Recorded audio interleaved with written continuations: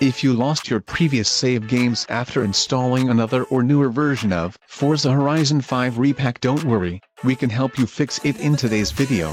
This occurs because repackers use a different cracks, so each have different save locations and method of saving the game. So without further ado let's start the video.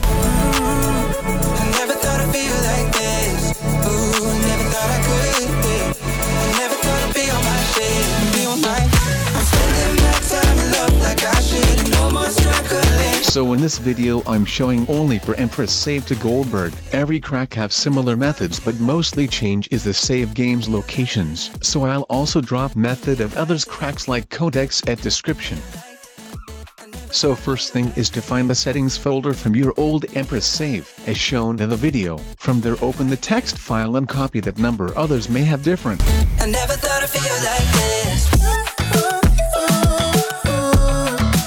So copy yours and then go to your newer save location that is Goldberg as shown in the video. If you didn't find the folders you must play the game at least once to create the needed save folders.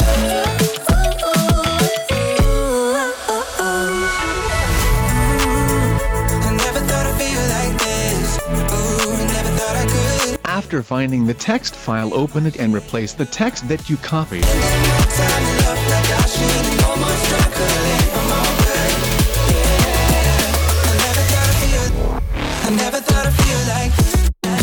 Open the game folder where you installed, and go through the folder as shown in the video and inside the Steam settings folder, create a text file as shown in the video.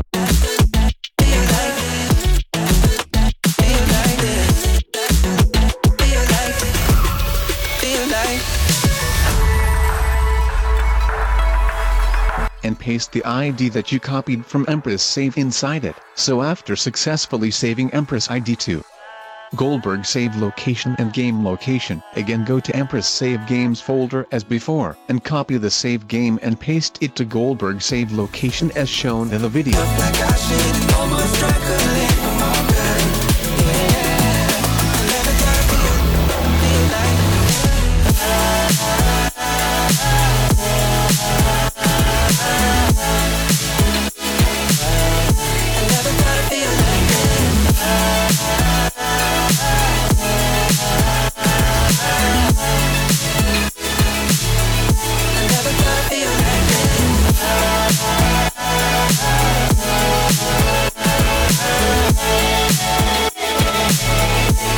After making sure all of the steps been clearly finished launch the game.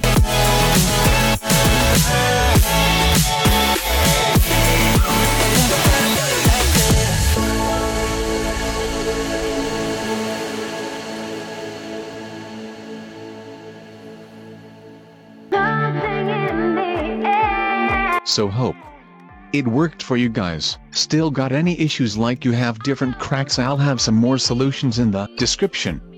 So don't forget to check there. Also comment if you got any issues in the steps. I'm happy to assist you there. So that's all for today's video hope you guys got the solution. Please consider to hit that subscribe button also the bell icon to get notifications for our upcoming videos.